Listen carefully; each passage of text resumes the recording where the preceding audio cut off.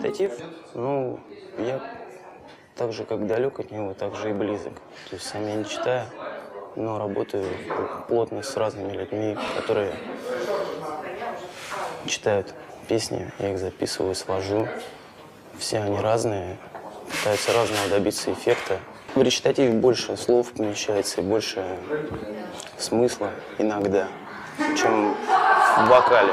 Ну, в вокале тоже можно много чего добиться, но он сам по себе меньше. Речитатив, он более емкий.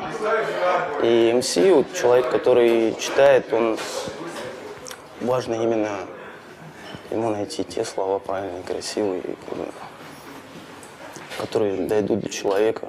А речитатив сложно, на самом деле, искусство, сложно добиться как бы, техники и именно подать людям так песни свои, чтобы они тебя услышали, поняли.